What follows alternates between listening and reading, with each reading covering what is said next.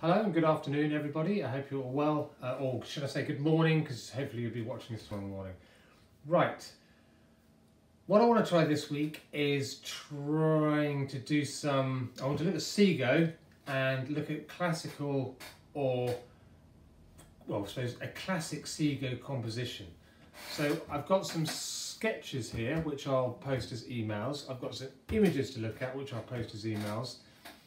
But the one thing I really want to try today is to post more videos as we're going on in the morning. So, but I just want to explain that it's a bit of a trial and all it will require for you is to receive an email and click on the link and watch a video. But what I'm trying to do is make the lessons a bit more kind of interactive and video based. So I will post this first video you're watching at 10 o'clock, so you'll be watching that now, a couple of minutes after 10.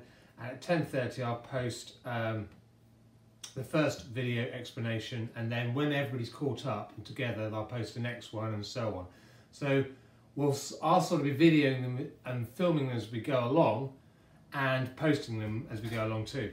Now I just want to say it's a trial to see if it works. Hopefully it works and it's something we can do again. Um, obviously if it doesn't work or it's there's problems then I'll just go back to uh, emailing well I'll email you anyway but I'll go back to just trying to do it with email and WhatsApp which I still use anyway.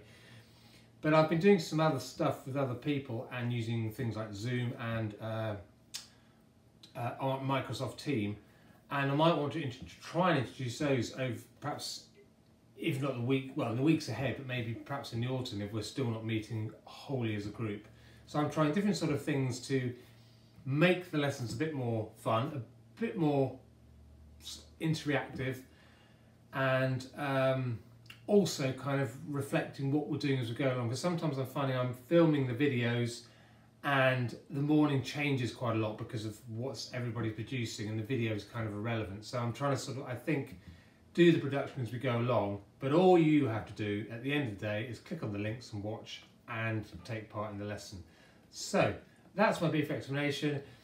As I said, we're going to look at classic Seago compositions and mainly I want to stick with Seago because, well, you know, look at one artist in particular. Uh, obviously he's a friend of my, favourite artist of mine, um, but I think they'll help, they'll work, they'll work well in this lesson and you'll see as we go along. So at 10.30, if you have pens, uh, sorry, pencils, pastels, perhaps some paint if you like. We could do some acrylic or watercolour, it's up to you. So coloured medium and stuff like that and we'll uh, then go for the lesson. But uh, in the meantime, first of all, there'll be some more images sent to you and hopefully they'll help explain what we're doing and then the rest will be on video and chatting. I hope that all makes sense. Um, I'll see you in half an hour or so. Thank you. Take care. Bye.